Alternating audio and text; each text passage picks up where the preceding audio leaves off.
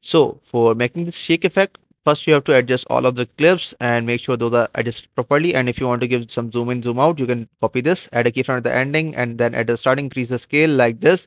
So we can get this zoom out effect. So after adding, adjusting this, we will add zoom n on this for that add a keyframe at the starting then go to the ending and at the ending increase the scale like this. So this was the basic thing. Now repeat the same thing to all of the clips like the zoom in zoom out zoom in zoom out zoom in zoom out to every single clip that you have on your main track. After like adjusting the keyframe we will add some graph to it but have a look. It should look that our clips are coming zooming in and zooming out in proper way. Then we'll add graphs so for that we will use ease out graph. Now it depends on you. You can also add custom graphs uh, like you can also add some flow or ease out or different type of graph according to your need. Then uh, what you have to do you have to add animations to it. So for that we'll go into the animation we'll go into the in animation and you have to like scroll it or slide it over this side and select the swing bottom. Make sure to use this one. This is like a vertical to downside up to downside swing of uh, effect and set the duration of it to 0.2 now add the same animation to all of the clips that you have and make sure that the duration of it is exactly at 0.2 second not like a little bit more than. After that your clip should look something this. Then we will add effects to it.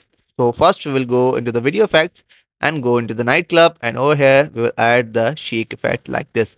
Add the shave effect adjust it add a keyframe make sure everything is zero then go to the starting like this go to the starting go to the speed set the speed intensity to 100 then go a little bit like on the center of part then set the speed intensity to zero and adjust it like this. After adjusting this effect you have to go back to the video effects and you have to add the camera shake adjust the duration of it according to the clip make sure that the object is all videos and uh, go into the starting of the shake uh, and set the speed and intensity to 50 okay? Now over here we'll go back to the camera effect. You don't have to do anything just set the object to uh, all videos. The camera shake is adjusted according to what we need. Then we'll go into the video effects and we will search the rebound swing effect in the video effects. So you can get this effect. Add this effect set the object to all videos then adjust the duration of it like this. After adjusting the duration go and add a keyframe at the starting set the speed to 50 size to 50 and intensity also to 50 and then go to the ending and at the ending we will add a keyframe. And after adding the keyframe like this we will go into the adjustment set everything to zero okay? After adding this effect uh, we have to add one more thing which will be the ripple so for that we'll go into the distortion. And over here scroll down.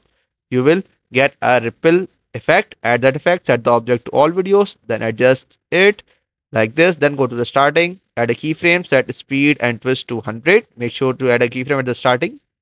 Then you have to go a little bit like at the ending but go a little bit on this side. Then set the speed to like 50 over here. So we can get the ripple effect to the whole clip it depends on how much duration that you have on your screen.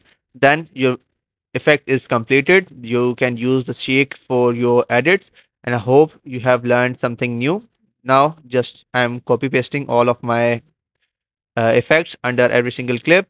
And to, to the people who are watching it till the end thank you so much. You guys take your precious time to watch my videos and you i think learn a lot of things from me so i am really really thankful to you that you guys watch my videos from starting to end.